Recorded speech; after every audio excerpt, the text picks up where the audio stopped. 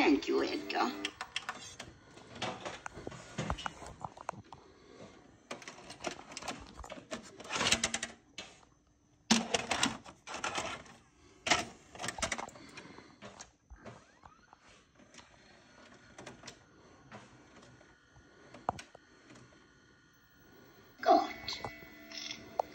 Madam, uh, uh, may I take your parcel, madam? It really is much too heavy for you, madam. Tut tut, Edgar. Don't fuss over me.